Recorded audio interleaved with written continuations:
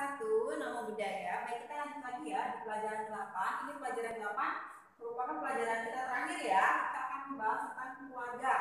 Ya, keluarga kita. Ya, kalian bisa buka halaman 106, 107. Kita akan membahas tentang materi pertama orang tua. Orang tuaku. Orang tua adalah ayah dan ibu kita. Karena ayah dan ibu kita terlahir di dunia, ayah dan ibu merawat kita. Perjuangan ibu mengandung kita tidaklah mudah. Perjuangan ibu melahirkan kita pun tidak juga uh, tidaklah mudah ya. Perjuangan ayah membantu dan menemani ibu selama mengandung dan melahirkan juga tidaklah mudah ya. Jadi orang tua kita sangat berjasa sekali ya. Ibu, ibu mengandung kita uh, selama 9 bulan ya. Kemudian uh, saat melahirkan ayah menemani, menemani ya menemani ibu.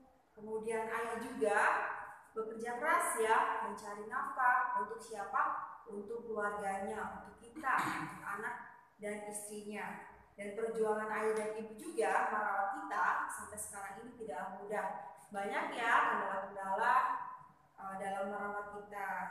Perjuangan dan ayah dan ibu kita mencari nafkah juga tidaklah mudah ya. Ayah dan ibu mungkin mempunyai kesulitan sendiri di tempat kerja, di keluarga atau di lingkungan. Oleh karena itu, kita harus membantu ayah dan ibu kita. Bagaimana caranya? Dengan tidak membuat mereka repot, ya, tidak membuat mereka sedih, tidak membuat uh, mereka uh, dengan membuat mereka tenang, ya, dengan membuat mereka bahagia, dengan menjadi anak yang baik, rajin belajar, ya, karena ayah sudah susah payah ya mencari uang untuk siapa, untuk biaya kita sekolah, jadi kita harus uh, semangat belajarnya. Ibu pun juga ya bekerja keras, ya uh, berangkat pagi, pulang sore, ya untuk siapa untuk kita juga. Jadi kita sebagai anaknya kita tidak boleh merepotkan mereka, kita harus tetap semangat belajar.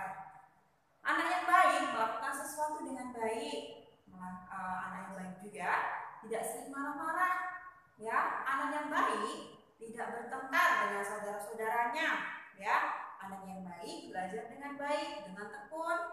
Anak yang baik suka menolong, menolong teman, menolong saudara-saudaranya, menolong keluarganya yang membutuhkan pertolongan. Dan anak yang baik uh, bangun, tidur, makan, uh, belajar sesuai dengan waktunya, ya tepat waktu. Jadi anak yang baik itu menyenangkan. Ketika kita jadi baik, kita akan bahagia. Ketika kita jadi baik, orang tua juga akan bahagia. Orang-orang juga suka dengan anak yang baik. Jadi mau ya jadi anak yang baik ya, supaya disenangi oleh semua orang ya, disayang oleh mama dan papa, kakak dan adik ya.